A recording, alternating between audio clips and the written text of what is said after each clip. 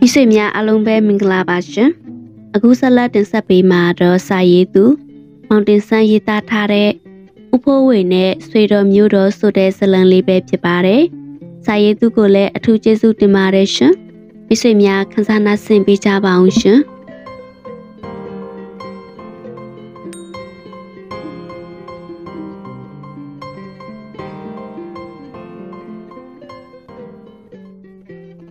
ကျွန်တော်ကနယ်မြို့လေးတစ်မြို့နဲ့တိတ်မဝေးလှသောကျဲရွာလေးတစ်ရွာမှာနေထိုင်သူပဲကျွန်တော်တို့ရဲ့ရွာလေးကမြို့နဲ့နေတော့ကြောင့်ဖွံ့ဖြိုးတဲ့ရွာလေးတစ်ရွာဖြစ်တဲ့အတွက်မြို့မှာရှိတဲ့ကလာအိုကေရအစဘီလီယက်ခုံအစုံအကုန်ရတယ်ဝေကျေးရလည်းအသင်းတင်းချမ်းသာသူဖြစ်တည်ရတဲ့ကြောင့်ပြီးတော့မိဘနှစ်ပါးကလည်းသူတို့ရဲ့တူတီတော်သားလေးဖြစ်တည်ရတဲ့ကြောင့်အကြောင်းများစွာနဲ့ကျွန်တော်ကိုအဆုံးစွန်ထိအလိုလိုက်ထားကြတယ် ကျွန်တော်လည်းမိမကိစ္စနဲ့ဆက်ရလွယ်ရင်ကြံတာမလုပ်ဘူးသည်မရှိအောင်မိုက်မယ်တဲ့ကျွန်တော်ကအမိကိုလည်းမကြောက်အဖကိုလည်းမကြောက်ဒါပေမဲ့ဖခင်ရဲ့အကိုအကြီးဆုံးဖြစ်တဲ့ဖုံးတော်ကြီးဦးဝိစိတ်တောက်တော့ကြောက်တယ်အခုလည်းတငယ်ချင်းများနဲ့ဘီလီယက်ထိုးပြီးတကြံရောက်ခါနေလို့အစီအစဉ်တွေဆွဲနေကြတယ်ဟဲ့ကောင်တွေအခုတကြံတို့တွေဘယ်သွားကြမလဲညို့ပေါ်ပဲကားငါပြီးတော့လဲမှာပေါ့ နေအောင်ကွချောင်းသာသွားကြရင်ကောမင်းကဘောစီဆိုတော့ပြောနိုင်တာပေါ့သူရိယရဲ့မင်းတို့ကလည်းကွာမင်းတို့မှလည်းမိဘရှိတာပဲဟာတောင်းပေါ့မိဘရှိတိုင်းငွေရှိတာမဟုတ်ဘူးကွတငယ်ချင်းတွေရဲ့စကားတွေပဲကိုနားမလဲခဲ့ဘူးငယ်စဉ်ထဲရလိုတိုင်းရတတိုင်းရနေတဲ့ကျွန်တော်ဖို့အခက်ခဲဆိုတာဘာမှလည်းမသိခဲ့ဘူး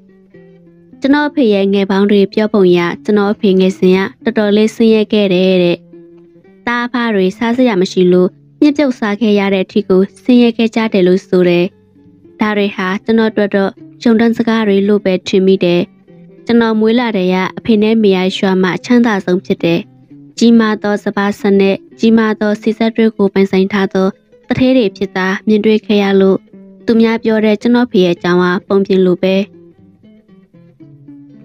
ကိုတွေးတီတွေနဲ့ဘီလီယက်ခုံကနေပြီးဆိုင်ကယ်စီးပြီးတော့အိမ်ပြန်လာတာအိမ်ပြန်ရောက်တော့ကားတစ်စီးတွေ့လိုက်တဲ့နံပါတ်အဝါနဲ့ကားကောင်းဟာအင်းငိမ့်ချမ်းသာတရားရိပ်သာဆိုတဲ့ဗကြီးဖုန်ကြီးရောက်နေပြီဆိုတာသိလိုက်တယ်ဒီတော့ဝတ်ထားတဲ့ဖောင်းမီတူအိမ်အောက်မှာတွေ့ရတဲ့အဖေရဲ့ပစိုးနဲ့လဲပြီးအိမ်ပေါ်တက်တယ်အိမ်ပေါ်ရောက်တော့ကျွန်တော်ထင်တဲ့တိုင်ပဲအိမ်ဦးခန့်မှာဗကြီးဖုန်ကြီးကခန့်သားထိုင်နေတယ်မလန်မကမ်းမှာတော့ဖေနဲ့မေး ကျွန်တော်တွေ့တော့ဗကြီးဖုန်ကြီးရမိတ်တယ်သူရိယဘာတွေလုံနေလဲ6စံပါအောင်တပည့်တော့ဘာလုံးမမရှိဘူးမလားတင်ပါဖေသိတယ်အဲ့ဒါကြောင့်မို့မင်းကိုကြံတွင်ကျောင်းမနေခိုင်းဖို့လာခေါ်တာမမဖြစ်ဘူးထင်တယ်ဖေတပည့်တော့ချောင်းသားကိုသွားမလို့ဖေတဲဒီကလေးငါပြောတာကိုညင်းမလို့လား။ ဘာကြီးဖုန်ကြီးကကျွန်တော်ကိုစူးစိုက်ကြည့်ပြီးလေတံခက်မမှန်နဲ့ပြောတော့အဖေနဲ့အမေကိုကျွန်တော်စစ်ကူတောင်းတယ်။သူတို့ကလည်းဘာကြီးဖုန်ကြီးကိုကျွန်တော်ထက်ကြောက်ရသူတွေဆိုတော့ကျွန်တော်ဘာမှမတတ်နိုင်ဘူး။ခေါင်းလေးငုပ်ပြီးလက်ခံခဲ့ရတယ်။ကျွန်တော်ဘာကြီးဖုန်ကြီးနောက်ပါသွားရပြီးတကြံမှာကဲမယ်လို့တွေးထားတာတဲထဲရစ်သူဖြစ်ပြီးဒါပေမဲ့ဘာမှစောတကမတက်ရဘူး။ကားနောက်ခံတရားနေပြီးအေးစစ်စစ်လိုက်ခဲ့တယ်။ ဖားရဖုန်ကြီးကအသက်လေးရှားလာလို့စိတ်ချော့ထားတာအခုသူ့ရဲ့ကာသမားကိုဝင်းနောင်ကိုပြောတာပဲကြည့်အောင်ဝင်းနောင်ဖះမင်းဟာဒီလောက်ကုံလို့ကြောင်းပြန်ရောက်ပါအောင်မလားဟမ်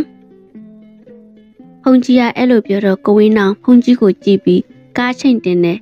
ကျွန်တော်လိုဆိုင်ကဲအမောင်းကျန်းတဲ့လူတော်ကြောက်လာတယ်ဖုန်ကြီးကတော့ခတိတီပဲကားချိန်ကိုချော့ခိုင်တာတောင်ဝင်းနောင် အဲ့လောက်အမြင်မမောင်းနဲ့လို့ပြောတာမဟုတ်ဘူးရဲ့ဝင်းနောင်ဖေရကြောင်ရောက်ရင်ငါကာပစ္စည်းစုံကြံပါအောင်မလားယင်အဲ့ဒီလိုနဲ့ဘာ၏ဖုန်ကြီးကြောင်ကိုကျွန်တော်လိုက်သွားရတာသူကတရားဟောတရားပြတော်နေရာမှာအတော်ကလေးနာမည်ကြီးတဲ့ဖုန်ကြီးပါမကြပါဘူးကျွန်တော်တို့မျိုးပြင်ကတရားရိပ်တောက်ရောက်လာတယ်မိရလို့သာတော်သေးတာပေါ့ကြောင်ထဲကိုဝင်လိုက်တာနဲ့နှစ်ရှည်သက်ပင်အုံးပင်နဲ့ ဝမလွန်ငပြောပင်တွေအများကြီးတွေ့ရတယ်။ကျောင်းကြီးကလည်းအကျယ်ကြီးတအချေဘက်ရှမ်းမှာအမျိုးသားယောဂီဆောင်အနောက်ခြမ်းကအမျိုးသမီးယောဂီဆောင်ဆိုပြီးခွဲထားတယ်။ကျောင်းရောက်တော့ကားတကားလေးဖွင့်ပြီးတော့အညောင်းဖြည့်တယ်။ကျောင်းကဦးစင်တစ်ပါးနဲ့ကျောင်းသားကြီးတယောက်က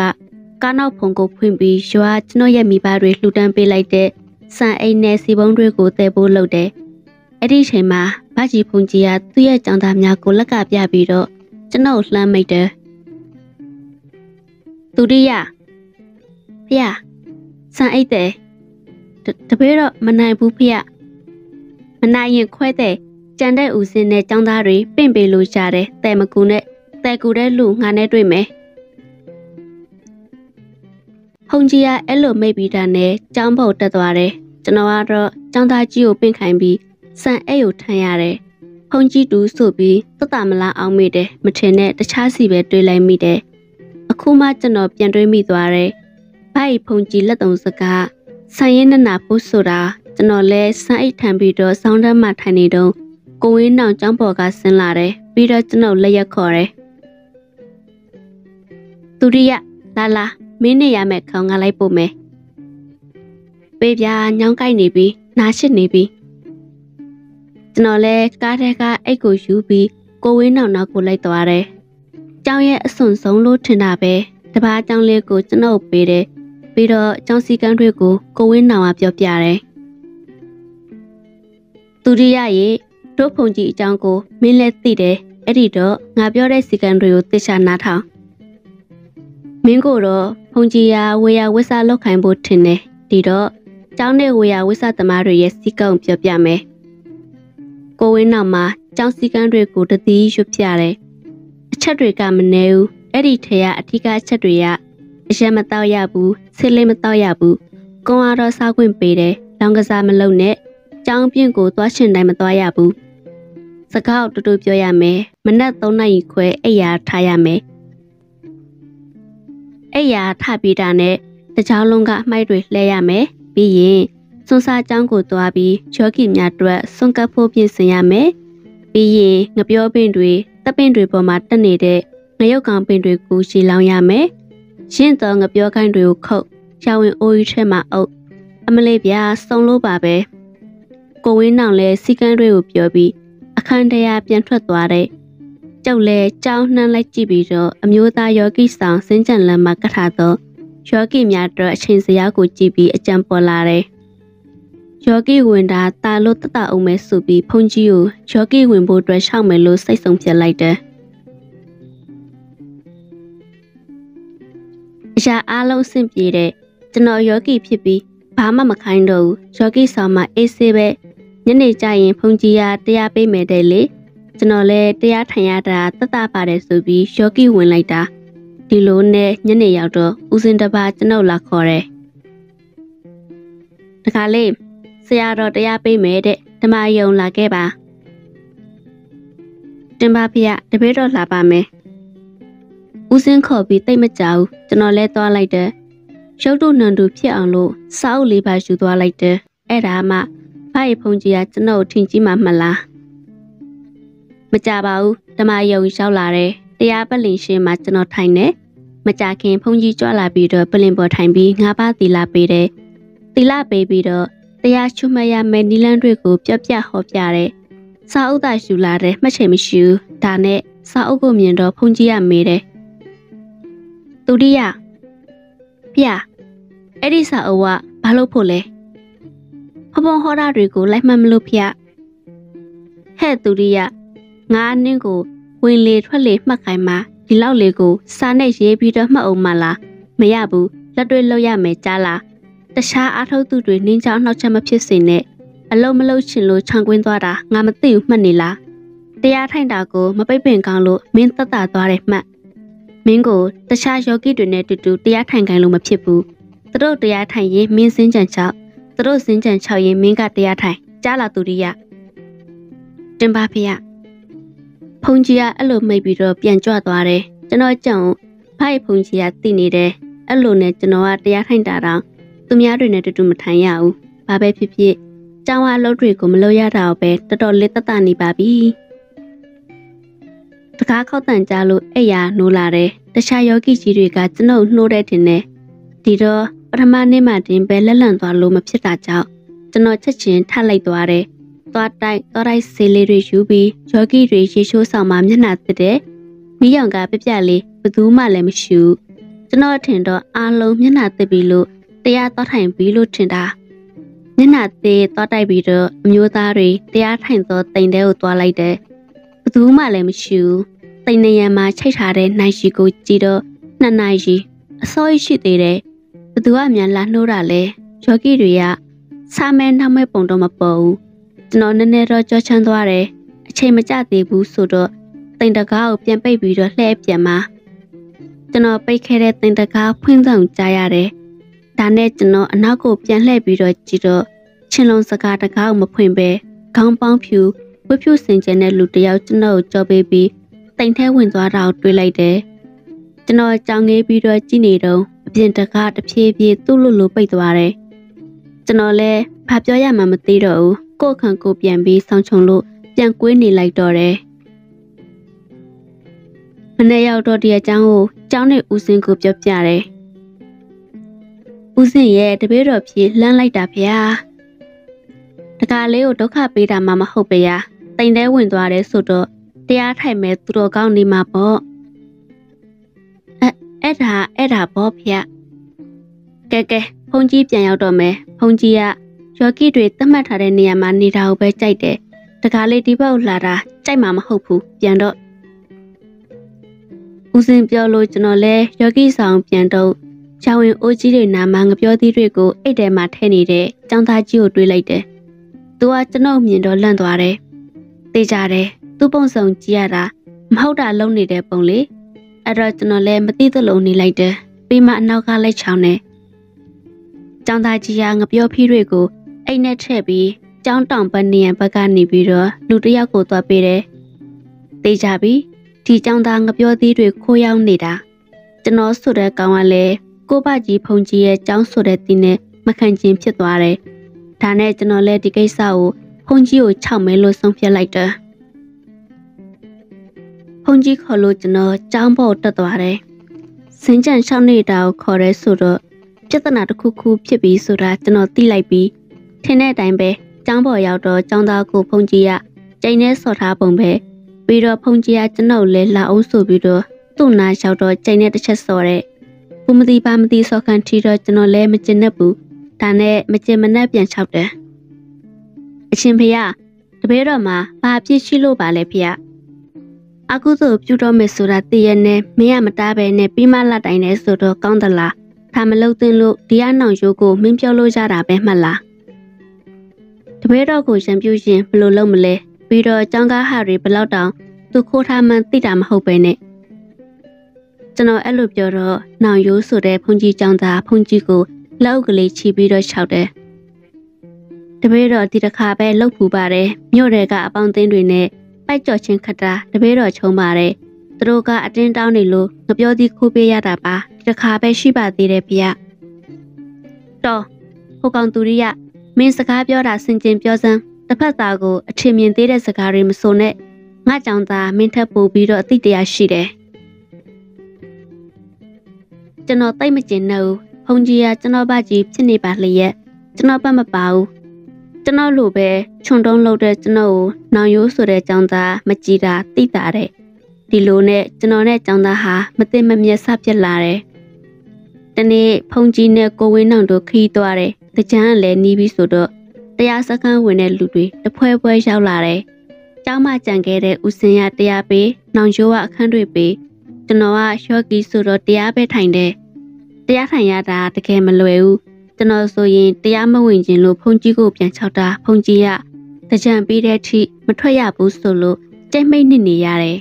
။ညနေလောက်ရောက်တော့နောင်ရိုးရောက်လာတယ်။ကျွန်တော်ကစင်းကြံချောက်ပြီးတရားမှတ်နေတာပြီးတော့ကျွန်တော်ခက်တီတီနဲ့လာပြောတယ်။ဟဲ့ကောင်မင်းအခန်းပြောင်းရမယ်။ဘာလို့လဲကျွန်တော်ဒီမှာဆင်ပြေနေတာပဲ။မင်းရလူငယ် နှစ်ထပ်ကြာမှနေရမယ်မင်းအခန်းကိုလူကြီးယောဂီတွေထားမယ်ခမရအခန်းပေးတောင်းဝင်ဆိုတော့ခမရသဘောပေါ့ကျွန်တော်ကဘယ်ချိန်ပြောင်းရမှာလဲအခုပဲပြောင်းရမှာကျောင်းတောင်ဘက်တော်ရရနှစ်ထပ်ကျောင်းပေါ်တက်မှနေကြော့တော့အခအခန်းချင်းဖို့တပြက်စီယူသွားဒီအခန်းတော့တန်လန်ထားခဲ့ကျွန်တော်လည်းစကားမပြောချင်လို့သူ့ပေးတဲ့အခန်းတော့ယူထားတယ်ပြီးတော့အခန်းထဲကတပြက်စီယူပြီး တောင်ဘက်တော်တဲ့ကနှစ်ထပ်ကြောင်သွားတယ်ကျောင်းကယောဂီဆောင်တွေနဲ့တော်တော်လှမ်းတယ်ကျောင်းဝင်းကကျဲတာလဲပါတယ်မိတော့ရှိတယ်အပင်တွေကဘေးမှာအုပ်ဆန်ဆိုင်နေဆိုတော့နေ့လေပမာတော့နည်းနည်းကြောချမ်းရှင်းစရာကောင်းတယ်စင်းကြံ600လမ်းလေးရှိတော့တော်သေးတယ်လို့တွေးလိုက်မိတယ်ဒီလိုနဲ့ကျွန်တော်လဲကျောင်းလေးဖို့တက်သွားတယ်အပေါ်ဓာတ်ကရင်မရှိဘူးအောက်ထပ်မှာအခန်းသေးသေးလေးတွေဖွဲ့ထားပြီးတောက်ခတ်ထားတယ်ကျွန်တော်လဲအပေါ်မှာပဲနေမှာဆိုတော့ အဲ့ဒီတော့တွေမလို့ဘူးလေဖုံတွေဆိုရင်တတော်ထူတယ်ပြီးတော့ပင်ကုမြင်တွေလည်းအာကြီးပဲပြတင်းတကားတွေကိုဖွင့်အခန်းသေးရှာတန့်ရှင်းလုပ်လိုက်တော့စွန်းစားကန်ဒီမှာအားလုံးပြီးသွားတယ်ဒါနဲ့တခါတည်းပြီးအောင်ဆိုပြီးကျွန်တော်ရှင်ခံအဲ့ရလိတ်တွေဆောင်းတွေကိုသွားယူတယ်ပြီးတော့နှစ်ထပ်ကြောင်အပေါ်တက်ရဲ့ခေါင်းရင်ခန့်မှနေရာချတယ်အဲ့ဒီမှာကျွန်တော်တခုသတိထားမိတယ်ခုနတုန်းကတောင်ဘက်ကပြတင်းတကားတွေကိုတေချာဖွင့်ခဲ့တာ အခုကပိတ်နေတုံးပဲလေတိုက်လို့ပြန်ပိတ်တာလည်းဖြစ်နိုင်လို့အများကြီးတွေးမနေဘူးနောက်ထပ်ယူစရာရှိတာတွေယူပြီးချိန်မှာစွန်းစားတန်ကြောင်လဲခောက်ပြီးဆိုတော့စွန်းသွားစားတယ်ညနေဆောင်အချိန်ကိုရောက်လာပြီးကျွန်တော်စင်းကြံချောင်းနေတုန်းယောဂီတယောက်ကတိမ်ထဲမှနေပြီးတော့တရားဖြုတ်ပြီးထွက်လာတယ်ပြီးတော့ကျွန်တော်နားလာပြီးတော့လူလေးတရားမှခဏထိုင်အောင်အဘပြောစရာရှိလို့။ အော်ဟုတ်ကဲ့ဗျ။ကျွန်တော်နည်းနည်းထူးဆန်းသွားတယ်။အမှန်ဆိုရင်အခုယောဂီကြီးကစကားကိုသိပ်ပြောလို့မရှိဘူး။မရှိဆိုကျွန်တော်ရောက်ထဲကစကားပြောတာတစ်ခါမှမတွေ့ဘူး။အခုသူကကျွန်တော်စကားပြောချင်တယ်ဆိုတော့နည်းနည်းထူးဆန်းတယ်။ကျွန်တော်လည်းစင်းကြံလမ်းပေးရတန်ရလေးမှဝင်ထိုင်နေ။ယောဂီအဘကလည်းထိုင်နေတယ်။ပြီးတော့ကျွန်တော်ကြည့်ပြီးတော့စကားဆိုတယ်။လူလေးမင်းကြောက်တက်လားမကြောက်တတ်ပါဘူး တေချာရဲ့လားတေချာတာပေါ့အဖရဲ့အခုလိုတရားတွေအထုတ်နေလို့ထင်ပါရဲ့အရင်ကကြောက်စိတ်နည်းနည်းလေးတောင်အခုမရှိတော့ဘူးရဲ့ကျွန်တော်ကပပိုတသားလေးပြောလိုက်တယ်ဒီတော့ယောဂီဝေးအပါခေါင်းလေးညှိပ်ပြီးစကားထပ်ဆိုလာတယ်อืมလူလေးကဆရာတော်ရဲ့တူးဆိုတော့လေဘယ်ခင်မှလဲအခုလူလေးပြောင်းရမှာနှစ်ထပ်ကြောင်ဟတ်လားဟုတ်တယ်ဗျ อืมနှစ်ထပ်ကြောင်ကတရားအစမ်းကျန်းတယ်နော်လူလေးတကယ်လို့မနေရဲရင်ဦးစင်းကိုခြောက်ပြီးတော့ပြောင်းခိုင်းပေါ့ဦးစင်းကလူလေးအဲ့ဒီကြောင်ကိုပြောင်းပေးထားတာသိပုံမရပါဘူးရှားပါတယ်အဖရဲ့ကျွန်တော်ကတရားတကယ်လုံးနေတာဆိုတော့တရားအစမ်းခံနိုင်ပါတယ်ကြံတဲ့နေရာတွေကလည်းလူတွေပြည့်နေပြီထင်တယ်ဒါတော့ဟုတ်တယ်အခန်းတွေအားလုံးပြည့်သွားပြီ ညအချိန်ကိုရောက်ရှိလာပြီးယော်ကီတွေများလွန်းတာကြောင့်ညဘက်ဆိုရင်ကိုယ်ခံမှာပဲတရားထိုင်ခွင့်ပြုထားတယ်။ကျွန်တော်လည်းနှစ်ထပ်ကြောင်မှာတယောက်တည်းပဲတရားထိုင်တယ်။နှစ်ထပ်ကြောင်ကတပ်ပင်တွေကြားတဲ့ကိုပိုရောက်တယ်ဒီတော့ကျောင်းတောင်ဘက်ကပိနေပင်ကြီးရဲ့ကန့်ခတ်တွေကကျောင်းခေါမိုးကိုလေးတိုက်ရင်ရှိုက်တော့အတန်တွေကစူနေတာပဲတရားမှတ်လို့ကိုမရဘူး။ဒါကြောင့်မို့လေလေးငိန်သွားမှတရားပြတ်မှတ်တော့မယ်ဆိုပြီးကျောင်းပေါ်မှာလက်လေးနောက်ပြလန်းချောက်နေတယ် နှစ်ထပ်ကြောင်ကကျဲတော့ကျောင်းပေါ်မှာဇင်းကြံလျှောက်လို့အဆင်ပြေတယ်။ကျွန်တော်မျက်လုံးကိုချစ်မလန့်မကန်ကြောင်ကျန်းဖြင့်ကိုကြည့်ပြီးခြောက်နေတော့မိအောင်အောင်မှာကျွန်တော်ရဲ့အရေးပြင်တခြားရေးတစ်ခုပေါ်လာတဲ့ဒါနဲ့ကျွန်တော်လည်းဆက်ခဏအနောက်လှည့်ကြည့်မိတယ်။ကြည့်လိုက်တော့ဘာမှမရှိဘူး။ဒါနဲ့ပဲကြောင်အနှံ့ကိုမျက်စိကစားကြည့်တယ်။ကြောင်ကတတော်ချင်းတော်တစ်ခုခုဆိုရင်တန်းတွေ့ရတယ်။အခုတော့ဘာမှမတွေ့ဘူး။ကျွန်တော်လည်းနည်းနည်းတော့ကြောချမ်းသွားတယ်အ ရှင်အားဆိုရင်တရရှင်အဟစ်ပြီးတော့လှမ်းပြတ်မိမှာဒါပေမဲ့တရားဝင်ကျင်ရစပြီးစိတ်ပါလက်ပါတရားထိုင်ထားတော့စိတ်ကိုထိနိုင်ပြီးနောက်ထပ်ရိတ်လဲပေါ်မလာဘူးလေရလဲငြိမ်သွားပြီးဆိုတော့တရားထိုင်ဖို့ပြင်တယ်မြတ်စွာဘုရားကိုရည်တန်းပြီးချစ်ကိုဦးချတယ်တပ်ပလင်ကိုထိုင်တယ်ကိုကိုဖျောက်ဆွထားတယ်ဘယ်လက်ပေါ်မှာညာလက်တင်ပြီးတော့ကိုကိုကိုတတ်တတ်တတ်နေလိုက်တယ်ပြီးတော့အ မှတ်တရလေးကပ်ပြီးထိုင်နေတော့သိမကြဘူးထုတ်တံဘော်ကတောင်ကျမ်းဖြင့်ကိုဘုံကနန်းခွန်ချသိမ်ပေါ်လာတယ်ပြီးတော့တစ်ချက်ချက်နဲ့ကျွန်တော်ရဲ့နာကိုလမ်းလျှောက်လာတယ်ပြီးတော့ကျွန်တော်တရားထိုင်နေတာကိုရက်ကြည့်နေသလိုခံစားရတယ်တော်တော်ကြာတော့တပလင်ခွေထိုင်နေတာကိုခေါင်းအုံပြီးလူတစ်ယောက်အိတ်နေတယ်ကျွန်တော်သေချာသိတာပေါ့အေးဆက်ဆက်ထီတွေရကျွန်တော်ရဲ့လက်နက်ဖက်ခန်းစားနေရတယ်လေမျက်စိလည်းဖွင့်မကြည့်ရဘူး နောက်ဘလို့မှသိမခတ်နိုင်တော့တာနဲ့မျက်လုံးကိုဖွင့်ကြည့်လိုက်တော့တပ်ပလင်ခွေပေါ်ခေါင်းအုံပြီးအိတ်နေရာနေချက်ချင်းထသွားတယ်သူ့သွားတဲ့ဘက်ကိုကျွန်တော်လိုက်ကြည့်မိတယ်ကြောင်ထုတ်တံဘက်ကိုခုန်တက်သွားတယ်ကျွန်တော်လည်းဘလို့မှဟမဆောင်နိုင်တော့ဘူးကြောင်တကားကိုပြေးဖွင့်တယ်ဒါပေမဲ့မရဘူးစရင်တကားတွေပြေးဖွင့်တယ်မရဘူးထောက်တံပေါ်ကနေပြီးတကိုယ်လုံးမဲနဲ့နေတဲ့တရေကကျွန်တော်လိုက်ကြည့်တယ်ကျွန်တော်လည်းတကားတွေကိုပြေးဖွင့်နေတော့ ထောက်တံပေါ်ကတရေဟာကြမ်းပြင်းပေါ်ကိုပြန်ခုန်ချလာပြီးကျွန်တော်နာကိုတိုးတိုးလာတယ်ကျွန်တော်လည်းမတက်နိုင်တဲ့အစုံကြောင်တကားကိုဒရုံတုံထုပြီးအကျိအုံကိုတော်တာပြီးတော့တကားကိုကြောပေးပြီးမဲနဲ့နေတဲ့တရေကိုစမကြီးဝင်းတာနဲ့ဖြစ်ရှင်ရဖြစ်ဆိုပြီးမျက်လုံးကိုမှိတ်လို့អော်နေတော့မှကျွန်တော်ခါနေရကိုတကားရောကနေပြီးတော့လူတန်တန်ကြားလိုက်ရတယ်လူလေးအဘပါတကားဖွင့် ကျွန်တော်အားတက်သွားတယ်တကားဘက်ကိုမျက်နှာလှည့်ပြီးဖွင့်လိုက်တော့ကျွန်တော်အံ့ဩသွားတယ်အစာယောဂီအဘလို့ထင်ထားတာ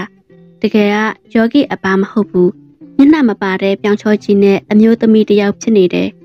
ကျွန်တော်လည်းကြောက်လန့်သွားပြီးတော့အဲ့ရနာကိုပြေးပြီးអော်တယ်ကျွန်တော်ဘလောက်ထိអော်မိလည်းမသိပါဘူးအတန်တွေတောင်နာလာပြီးနောက်တော့တကိုယ်လုံးမဲနဲ့နေသောတရေနဲ့မျက်နှာမပါတဲ့တရေမနှစ်ကောင်ကျွန်တော်နာကိုတိုးတိုးပြီးတော့ကလချိန် ကျွန်တော်မျက်စိတွေပြဝေသွားတယ်ကျွန်တော်မြင်ကွင်းထဲမှာနောက်ဆုံးကြောင်ထုတ်တံကလေးကိုပဲတွေ့ရတော့တယ်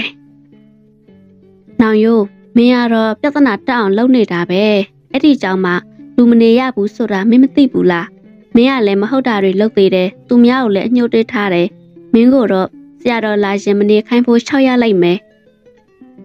မလောက်ပါနဲ့ဦးစင်းတပည့်တော်မှနေစရာမရှိပါဘူးမလျှောက်ပါနဲ့ဗျအ ခုကတရားတကကြီးတာမသိရင်သူရအသက်ပြောက်သွားနိုင်တယ်မင်းသိလားတပည့်တော်မှားမှန်သိပါပြီဖေ။တပည့်တော်ကိုကြောင်းကားထွက်သွားရအောင်မလျှောက်ပါနဲ့အဖရဲ့ကူပြောပေးပါအောင်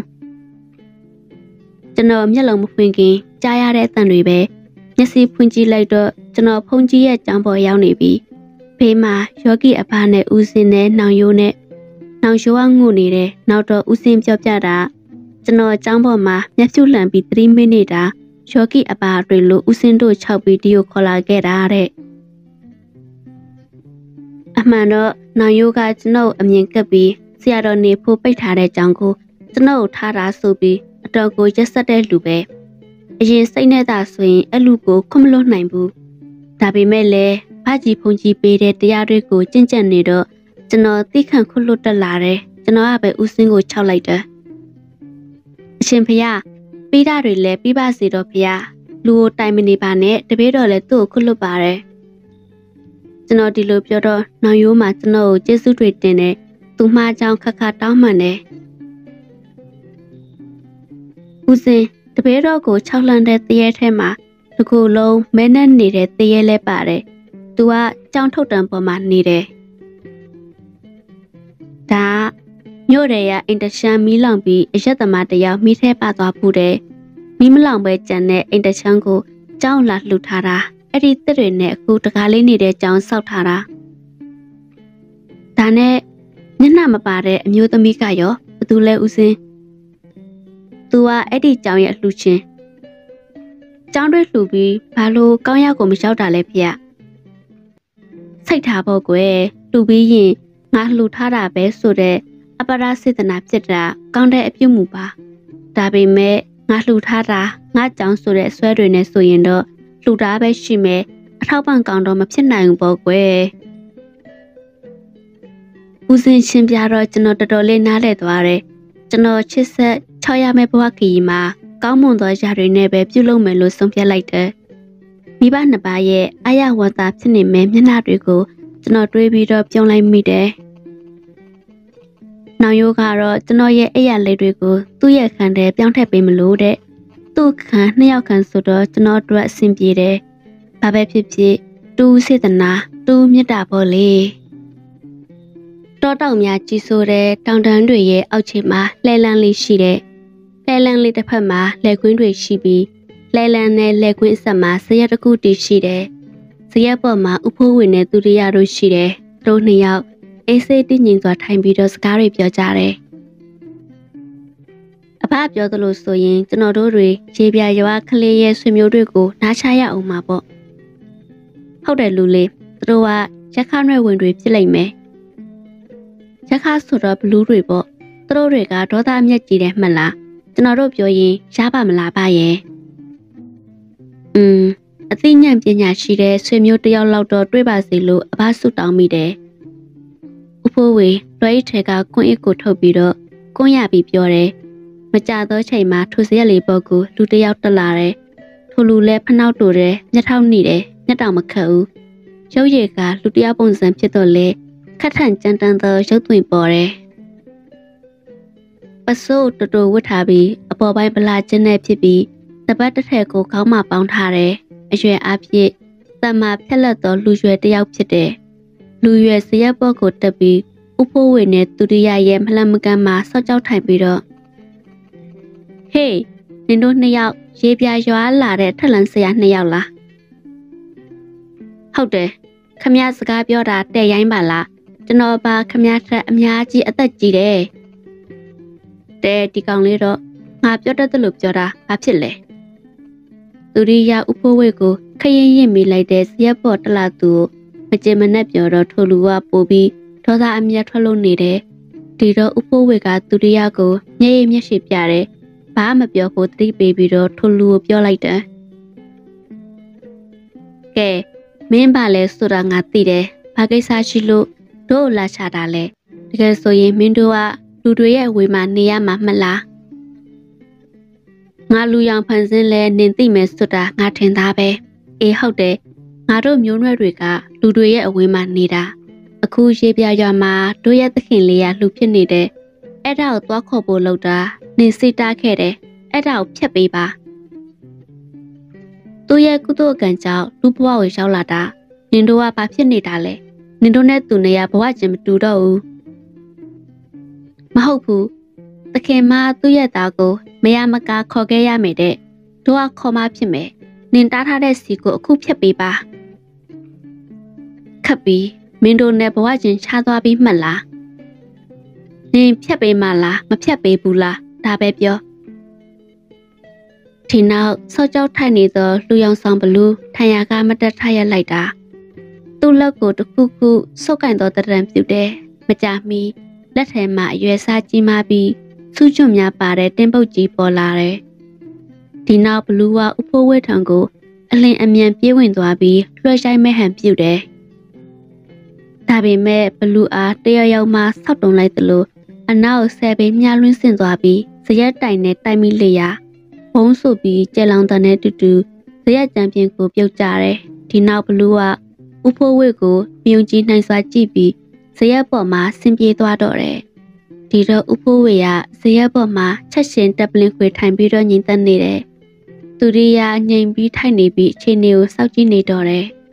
။အတန်ကြာသောချိန်မှာဇရက်ပေါ်တွင်တပ်ပလင်ခွေထိုင်နေတဲ့ဥဖိုးဝေကမျက်လုံးဖွင့်ပြီးသူရိယာကိုစကားဆိုတယ်။လူလေး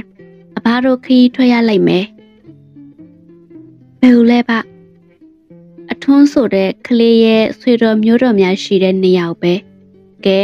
အဘတို့သွားရမယ့်ခရီးကကျန်းတယ်ဂျာတိဥထုကလည်းအေးတယ် ပြီးတော့အဘတို့ရဲ့ပညာချက်တွေကိုသုံးရလိုက်မယ်ဒီနောက်သူတို့နှစ်ယောက်ဇရက်ပေါ်ကဆင်းပြီးအနည်းဆုံးမှရှိနိုင်မဲ့ရွာတရွာစီကိုလမ်းလျှောက်ထွက်လာတယ်ဥဖိုးဝေကရှေ့မှလမ်းလျှောက်ပြီးသူရိယကအနောက်ကပါလာတယ်သူရိယသူ့စိတ်ထဲမှာသိရှင်တာကိုဥဖိုးဝေကိုမေးလိုက်တယ်အဘကျွန်တော်မသိတာလေးအဘကိုမေးချင်တယ်မေးလေးလူလေး ခုနဇရက်ပုတ်တက်လာတဲ့ဘလူးကဘယ်သွားတာလဲအဖားရဲ့စိတ်ဝိညာဉ်လိုက်သွားတာကျွန်တော်မြင်တယ်อืมအတော်ဝေးသောနေရာပေါ့လူသူတွေမနီးသောနေရာပေါ့မကြခင်မှာလူလေးသိရလိုက်မယ်တရက်ပင်နဲ့မကြီးပင်တွေအုပ်ဆိုင်နေပြီးချစ်ဟောင်းနှစ်ထပ်ကြောင်ကြီးရဲ့ကြောင်းနောက်ခံမှာလူနှစ်ယောက်ထမင်းစားနေတယ်သူတို့ကတော့ဥဖိုးဝင်တဲ့သူတရက်ဖြစ်ပြီး ကျောင်းကစွန့်ကြံကွန်းကြံများအားတို့နှစ်ယောက်အားရပါရစားနေကြတယ်။ကျောင်းတိုင်းဆရာတော်ကသဘောကောင်းလွန်ပြီးအာရပါရစားနေတဲ့သူတို့ကြည့်ပြီးတော့သဘောကျနေတယ်ဖြစ်ဖြစ်စပါတကားတို့ဒီနေရာစွန့်ကန်ရှိတာမို့လို့စွန့်တွေကအတော်ပေါ်တယ်တင်ပါဖေတပည့်တော်တို့နှစ်ယောက်စားတာတော်တော်တောင်းကုန်နေပြီဖေကုံတော့လဲပါရေးလေဒီရွာနဲ့မလှမ်းမကန်းရွာမှာဖုန်ကြီးကိုယ်တိုင်ထပ်ယူပေးမယ် စားတာစားတကားတို့အာရပါရစားနေတာကိုဖုန်ကြီးသိတဲ့ဘောကြတယ်အရှင်ဖေတပည့်တော်တို့ညာရီခွင့်ပြုပေးပါလားဖေအဲ့ပါကွယ်ရပါတယ်ဖုန်ကြီးကောင်းအောင်ဆောင်ထုတ်ပေးမယ်ဆရာတော်ကကျောင်းပြတဲ့ပေါ့စီကိုလမ်းလျှောက်သွားပြီးပြတဲ့ပါဝါတစင်ကျောင်းချေမှာချင်းခတ်နေတဲ့ကျောင်းသားလေးကိုလှမ်းခေါ်လိုက်တယ်ဆရာတော်ရဲ့ခေါ်တန်ဆုံးကျောင်းဘော်ကိုကျောင်းသားတယောက်ပြစ်တက်လာပြီးတော့ဆရာတော်ရှေ့မှာလှုပ်ချီတယ် ဒီတော့ဆရာတော်ကမောင်တောင်ဒီကဧည့်သည်နှစ်ယောက်အိပ်ဖို့အတွက်ခေါင်းအုံးတွေကိုပြင်ပေးလိုက်ကြလားတင်ပါဖေကျောင်းသားလေးကသူတို့ကြည့်ပြီးတော့ကျောင်းနေရမှာကတ်ထားတဲ့ကျွန်းပြီးတို့ထဲကခေါင်းနှလုံးထုတ်ပေးတယ်ပြီးတော့တင်ပြူပြတစ်ချက်ကိုယူပြီးခင်းတယ်ခေါင်းအုံးကိုချထားလိုက်ပြီးတော့သူတို့နှစ်ယောက်ထမင်းစားသောနှစ်ယောက်ပြန်လာပြီးဦးကြီးအိတ်လို့ရပြီဒါနဲ့ ဒီထက်ကထမင်းဟင်းတွေအကုန်လုံးဦးကြီးတို့နှစ်ယောက်တည်းစားပြစ်လိုက်တာလားဟုတ်တယ်လေဘာဖြစ်လို့လဲဘာဘာမဖြစ်ပါဘူးကျုပ်ကြောင်းကြောင်းပြန်ဆင်းလိုက်အောင်မယ်ကျောင်းသားလေးမောင်တောင်ကျောင်းပေါ်ကဆင်းပြီးချင်းဝိုင်းစီကိုပြေးသွားပြီးတော့ချင်းကစားတယ်ဆရာတော်နဲ့ကျောင်းသားကိုရင်လေးတွေအိပ်ပျော်နေတဲ့ဥဖိုးဝေတို့နှစ်ယောက်ရဲ့မလှမ်းမကမ်းမှရက်ပြီးတော့စကားဆိုတယ် အဲ့တဲ့တွေအိတ်နေတာကိုဟုတ်ရဲ့လားလှုပ်လည်းမလှုပ်ဘူးကိုရင်ကြီးအနာကပ်ပြီးတော့အသက်ရှူလားကြည်စမ်းပါအောင်ကျမဖေကတပည့်တော်ကြည့်လိုက်ပါမယ်ဆရာတော်ကကိုရင်ကြီးကိုတတုံများမလှုပ်ဖ ೇನೆ နှစ်ချိုက်စွာအိပ်ပျော်နေတဲ့ဥဖိုးဝင်တဲ့သူရိယအားသွားကြည့်ခိုင်းတယ်ကိုရင်ကြီးလည်းအိပ်ပျော်နေတဲ့သူတို့နှစ်ယောက်နာကိုသွားပြီးစူးစမ်းလိုက်တယ်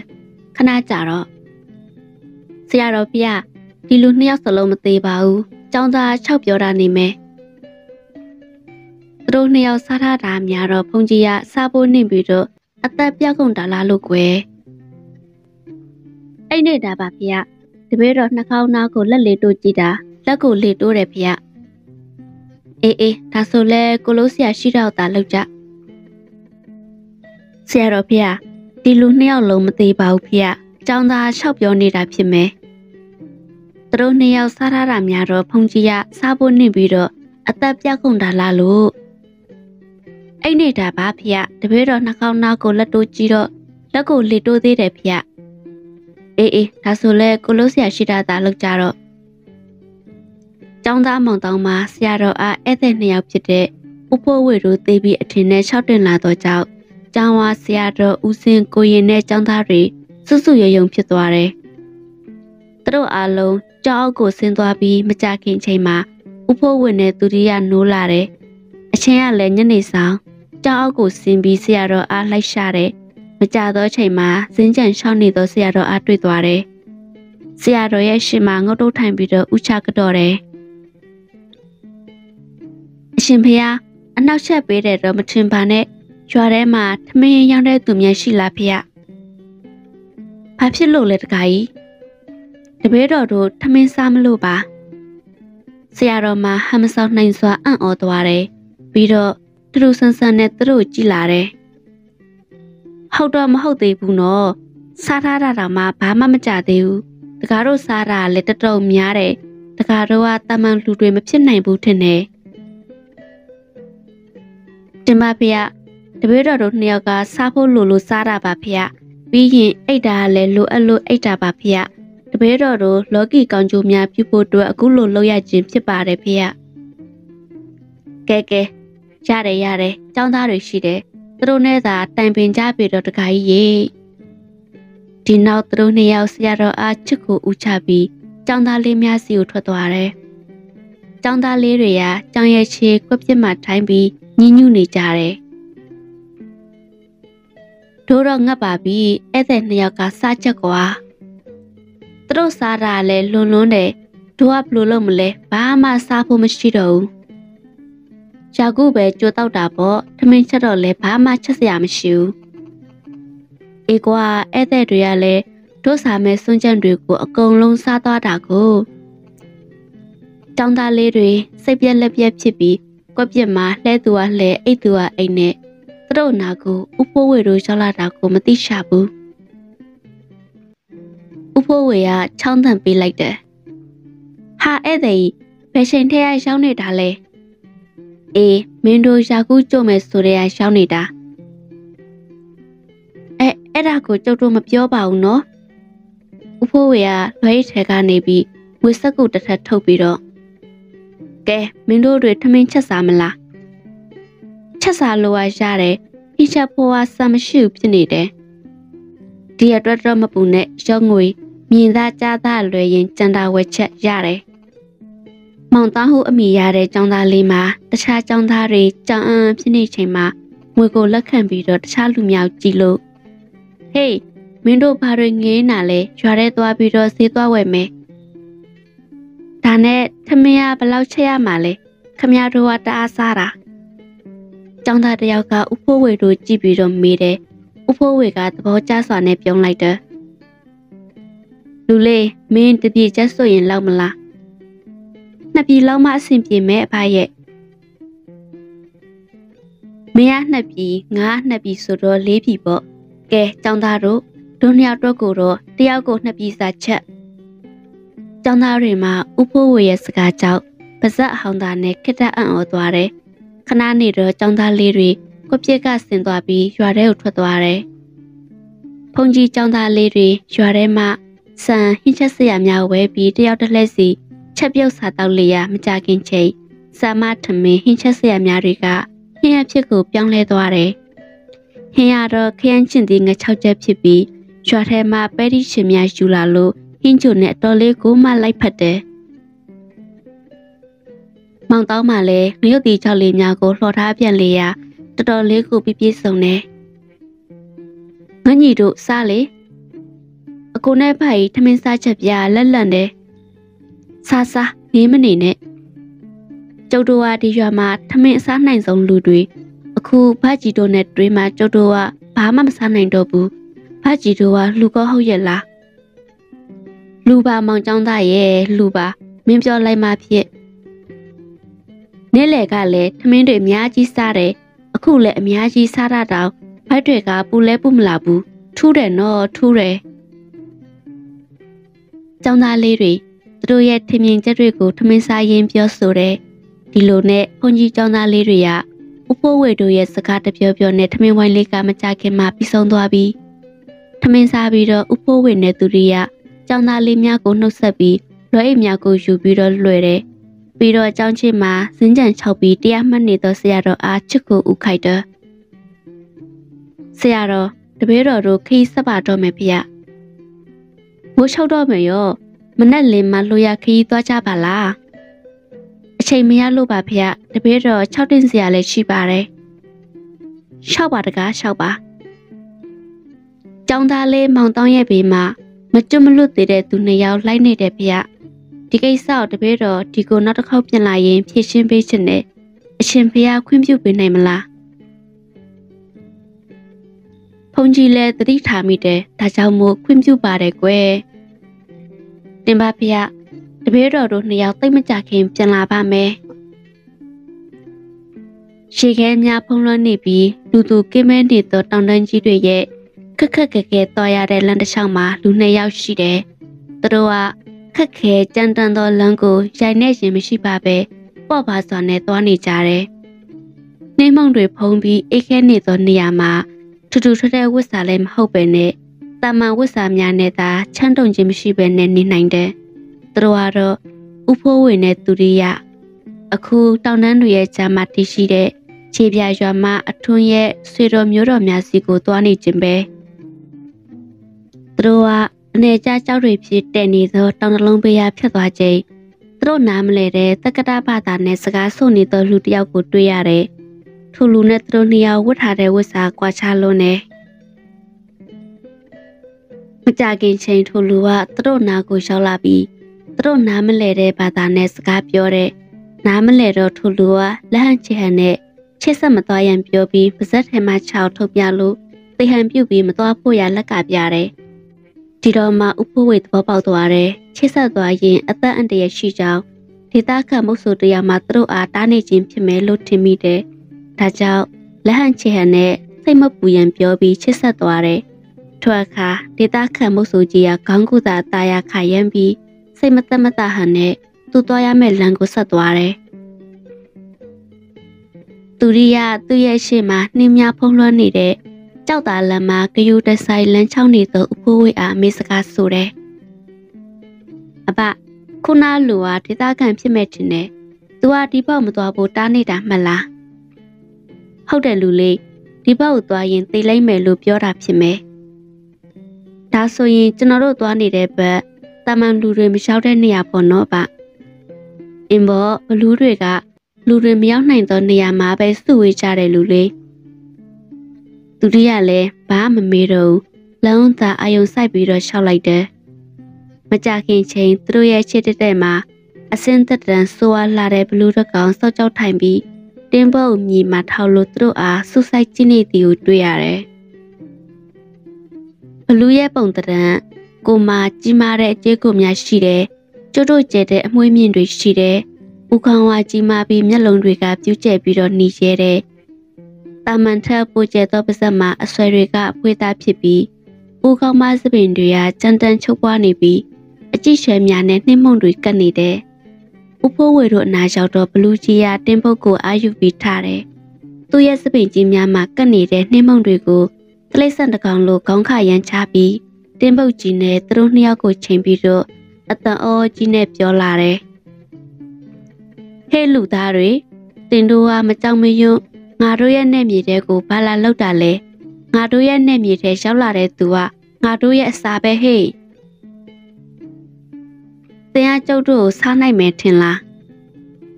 အတော်လာတဲ့လူသားတွေပဲကဲဝိကုလဘာလဲဆိုတာပြရတာပေါ့ကွာဘလူးကြီးကပြပြဆဆူတင်းပုတ်ကြီးကိုချိန်ရွယ်ပြီးတော့အခြေကိုပြေးဝင်လာတယ်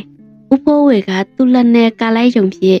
သူတို့စီကိုပြေးဝင်လာတဲ့ဘလူးကြီးအနောက်လွင့်ဆင့်သွားတယ်။တင်းပုတ်ကြီးပါတခြားနှစ်ယောက်လွင့်သွားတယ်။ဘလူးကြီးလည်း ကြောက်အားလန့်အားဖြစ်ပြီးတင်းပုတ်ကိုပြန်ကောက်လို့လာရလန်းတိုင်းပြန်လှည့်ပြေးသွားတယ်။ဥဖိုးဝင်နဲ့သူရိယလည်းဘလူးကြီးထွက်ပြေးသွားတဲ့လမ်းတိုင်းသာအေးစိတ်တည်ငြိမ်စွာနဲ့ရှောက်လန်းသွားတယ်။အတန်ကြာသွားပြီးတော့စီးနေများဖုံးလွှမ်းနေသောလမ်းမှာကြီးမားတဲ့ခြေရာတွေကိုစတင်တွေ့ရှိရတယ်။ထိုချီယာတွေကဘလူးတွေရဲ့ဖနောက်တုတ်တုတ်ချီယာတွေလူလေးရေအစောကဘလူးကကင်းဆောက်တဲ့လူဖြစ်မယ် အခုတိုးရောက်နေမှသူတို့အားလုံးသိလောက်ပြီးကဲသူတို့တွေတောင်တရောင်ရဲ့ထဲမှာရှိနေလောက်တယ်အဖဘလူးတွေကကမာစိတ်တိတကူရှိတယ်မလားရှိတယ်လေရှိလို့ပဲအဖတို့စီကိုလှူအောင်ဆောင်ပြီးလာတာပေါ့ကွယ်အခုမြင်နေရတဲ့ဘလူးပုံကတကယ်ဘလူးပေါ့နော်ဟုတ်လားဒါပေါ့ရေပြရွာကိုသူတို့တွေဘလို့လာကြလဲဗျ ဘာလို့လို့ပေါ့လူလေးရဲ့ဥဖိုးဝေမှာသူရိယအမေကိုဖြီးပြီးစီးနှင်းများပေါ်မှာထင်ကြံခဲ့တဲ့ခြေအားများတိုင်းလိုက်တယ်တော်တော်ကြကြလိုက်သွားချိန်မှာကြီးမားသောကြောက်တောင်ကြီးရဲ့အောက်ရှိကိုရှောက်လာတယ်ထိုတောင်ကြီးကစီးနှင်းများဖုံးလွှမ်းနေပြီးကြောက်ဆိုင်ကြောက်သားတွေနဲ့မတ်ဆောင်စွာရှိတဲ့ချီယာတောင်ကြီးတဝိုင်းပြောက်သွားခြင်းကြောင့်သူတို့နှစ်ယောက်ထိုတောင်ကြီးအားဆုဆိုင်ကြည့်တယ်။မကြခင်ချိန်မှာသူရိယတောင်ကြီးကိုကြည့်ပြီး ဥဖိုးဝေအားထပ်မံအမေစကားဆိုတယ်။အဖကျွန်တော်တို့ဘယ်ကိုရောက်နေတာလဲ။လူလေးဒီနေရာမသိဘူးလား။မသိဘူးအဖ။မှတ်ထားလူလေးအဖားတို့ရောက်နေတာတိမဝင်တာတောင်ကျောတွေရဲ့ပေါ်မှာပဲသူရိယအံ့ဩသွားတယ်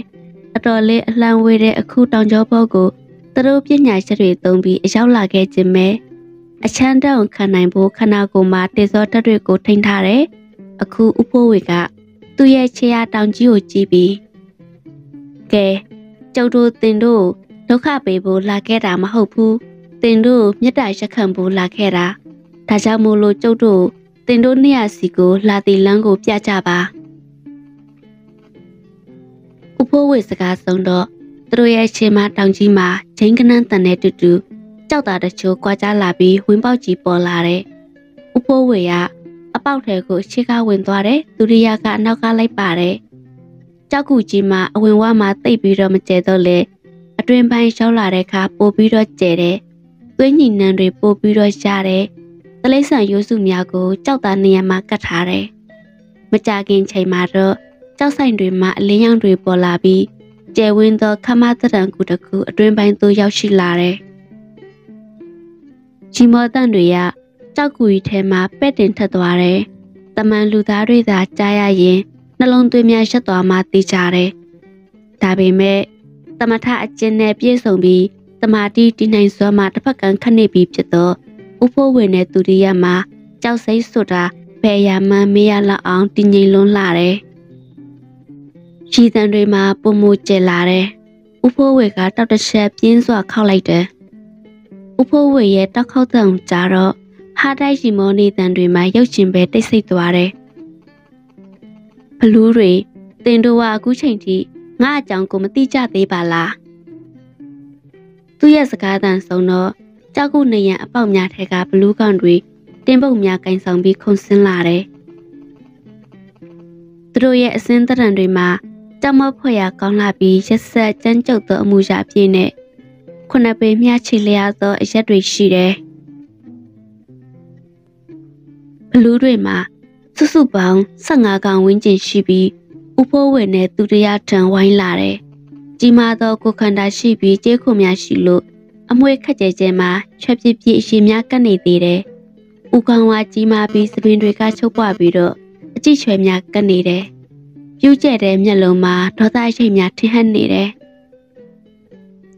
အခုတော့ဥဖိုးဝင်တဲ့သူတွေကကြောက်လန့်ခြင်းကင်းမဲ့စွာ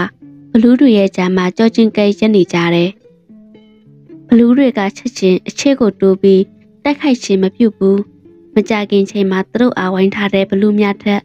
အကောင်ကြီးတဲ့ဘလူးနှစ်ကောင်ကြောက်ကုနေရာမှာခုန်ဆင်းချလာတယ်။အောက်ရောက်တာနဲ့တခြားဘလူးများတူးထောက်ခစားတယ်။ဒီနောက်ဘလူးနှစ်ကောင်နဲ့အမားဖြစ်ရန်တူတဲ့ဘလူးမဥဖိုးဝေတို့နားလဲရန်မစွမ်းနိုင်သောဘာသာနဲ့ ဒူးထောက်နေတဲ့ဘလူးများကိုစကားဆိုတယ်။အတန်ကြာအချင်းချင်းစကားပြောပြီးတော့ခါမှာဒူးထောက်ထိုက်နေတဲ့ဘလူးတစ်ကောင်ကထိုနေရာမှာထပြီးဥဖိုးဝေကိုကြည့်ပြီးတော့ပြောလာတယ်။ငါတို့ရဲ့သခင်မပြောတယ်သူ့ရဲ့သားကိုပြန်ပေးရင်နင်းကိုဘာမှမလုပ်ဘူးပြန်လှုပ်ပေးမယ်တဲ့လူအသက်တတူလေးပါသူ့ရဲ့သားလူဘွားတက်တန်ကုန်းမှာတင့်တဘောလို့ပြောပေးပါ အခုတော့ပြန်ခေါ်ဖို့လုံးဝမဖြစ်နိုင်ဘူးဥဖိုးဝစ်စကားကြတော့သူ့ရဲ့စကားနားလဲဟန်ရှိတဲ့အကောင်ပိုကြီးသောဘလူးကြီးမှာတဲနေရအခုလိုစကားပြောဝင်းတယ်လားငါတို့ရဲ့ထနေကိုလာပြီးငါ့ကိုပမာမခံပြုတ်ဝင်တယ်ပေါ့အသက်မသေးခြင်းရင်အခုငါ့ကိုဒူးထောက်စမ်းငါတို့ကတင်တို့လိုဘလူးချင်းမှာဒူးထောက်ရမယ့်သူတွေမဟုတ်ဘူးတင်တို့သာငါရဲ့အရှိမဒူးထောက်ရမှာ တော်တော်အပြောကြီးတဲ့လူသားအသေးသက်ဆန်ဟေးဘလူးကြီးကသူ့ရဲ့အမျက်တော်သားမထိန်နိုင်တော့ဘူးလောက်ငယ်သားတွေကိုအမိတ်ပေးခိုင်းစေတယ်ဘလူးတွေမှာကြက်လောင်စွာအဟစ်ပြီးတင်းပုတ်များနဲ့ရှိုက်သက်ဖို့ပြေးဝင်လာကြတော့လေသူတို့ဆက်ရတဲ့ဘက်နှစ်ယောက်အနီးကိုရောက်တော့အနောက်ကိုလွှင်းဆင်ပြီးကြောက်နေရနဲ့တိုင်မီလိုလဲလဲပြပြဖြစ်ကုန်တယ်။ဥဖိုးဝေတို့ကတော့မတက်ရလျက်သာရှိတဲ့ဘလို့မှလှုပ်ရှားခြင်းမရှိဘဲနဲ့ဘလူးကြီးတွေ များစွာထိတ်လန့်နေတယ်။ဒါပေမဲ့ဘလူးတကောင်ရဲ့အမျက်တော်သာကြီးမားသောကြောင့်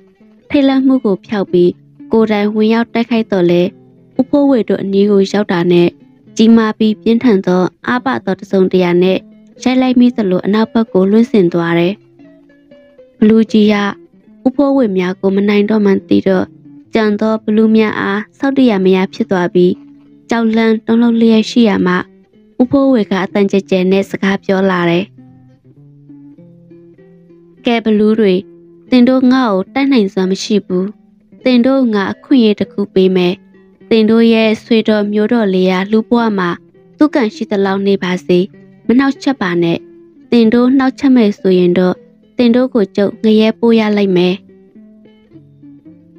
ဥဖိုးဝေစကားကိုကြားတော့ဘလူးတကောင်မှအတန်ကြဲကြဲနဲ့ သူတို့နားလဲရမစွမ်းတာတဲ့ဘာသာနဲ့ဘာသာပြန်ပြတယ်မကြခင်ချိန်ဘလူးတွေကသူတို့ရဲ့ခေါင်းဆောင်ဘလူးကြီးနဲ့ဘလူးမချစ်မှဒူးထောက်ထိုင်ကြပြီးတစုံတရာဝိုင်းဝန်းတောင်းဆိုတယ်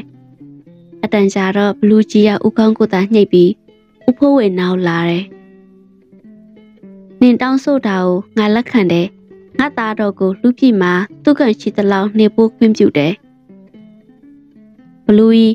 တင့်ရဲ့စကားတည်ရဲ့လား။ ငါကတိဟာငါတို့ရဲ့အသက်ဖြစ်တယ်။ကောင်းပြီ။တင်တို့ထပ်ပြီးမနှောက်ချက်ဘူးဆိုတာငါယုံလိုက်မယ်။တကယ်လို့နှောက်ချက်မယ်ဆိုရင်တင်တို့ရဲ့ကိုယ်ကိုလောင်ပြီးကြားရစေမယ်။ဥပိုးဝေကဒီလိုပြောပြီးညာဘက်လက်နဲ့ကြောက်နေရန်ကိုပြစ်ပေါက်ဟန်ပြူလေရာကြောက်နေရန်မှာမိဆွဲလောင်သွားတယ်။ထိုရကြောင့်ဘလူးများပုံမူကြောက်လန့်သွားတယ်။သူတို့ဂရီကိုတီမီဖြစ်ကြောင်းထထခခဂရီပေးတယ်။ ဥပိုးဝေလည်းစိတ်ချရသောနေသားကြောင့်မှဘလူးကူကြီးထံမှထွက်ခွာလာတယ်။ကူပြင်းကိုရောက်တော့ဥဖိုးဝေကသူရီရောက်ကြည့်ပြီးကဲလူလေးရေကိစ္စတကူကတော့ပြီးပြက်ပြီးအဘတို့ဖုန်ကြီးចောင်းသားမောင်တောင်းစီကို ပြန်သွားကြအောင်စို့ဒီလိုနဲ့ပဲဥဖိုးဝင်တဲ့သူရိယစီနှင်းများဖုံးလွှမ်းနေပြီးကြောက်ဆိုင်ကြောက်သားများရှိသောတောင်ကျော်လန်တိုင်းလမ်းလျှောက်ပြန်ခဲ့ကြလေတော့တယ်